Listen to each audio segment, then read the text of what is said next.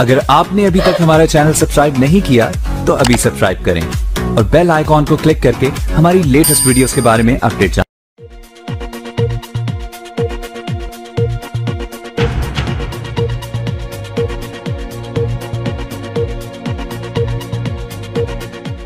शासकीय व मुआवजा दे चुकी ज़मीन को अतिक्रमण से मुक्त कराया जाए भीम आर्मी ने सौंपा ज्ञापन मामला नगर से दूर पाँच किलोमीटर स्थित ग्राम ठनगांव फाटे का है, जहाँ नहर एवं रोड विभाग द्वारा कटी ज़मीन जिसका मुआवजा विभाग द्वारा दिया जा चुका है।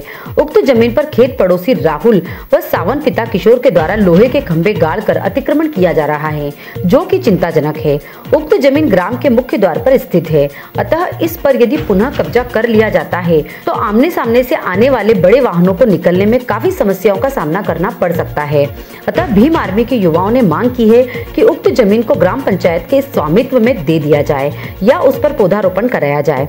युवाओं ने ज्ञापन के माध्यम से एसडीएम साहब मंडलेश्वर से उक्त ज़मीन को मुक्त कराने की गुहार लगाई है। ज्ञापन का वचन पूर्व भीम आर्मी ब्लॉक अध्यक्ष अरविंद हिरवे के द्वारा किया गया एवं पूर्व संभाग अध्यक्ष रोशन वर्मा, ब्लॉक अध्यक्ष नरेंद्र वासुरे, संगठन महामंत्री शक्ति चौहान व राहुल कड़ोले सहित अन्य कार्यकर्ता मौजूद रहे। ये हमारा बोल्ड लगा था भीम आर्मी का, धनगांव फाटे पे।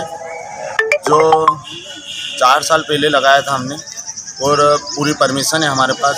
सरपंच, मंत्री, सब मतलब सबकी परमिशन है। ऑलरेडी हमारे पास परमिशन है।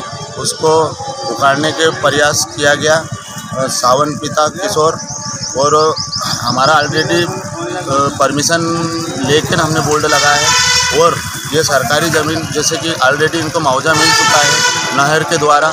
और वहाँ पे तार फेंसिंग ये मतलब ज़बरदस्ती मतलब कब्जा करना ऑलरेडी इन्होंने मुआवजा ले चुके हैं। इनके द्वारा कठोर से कठोर हमारी सरकार से मांग है कि इनकी कार्रवाई की जाए। Digiana news report, Mandleshwar.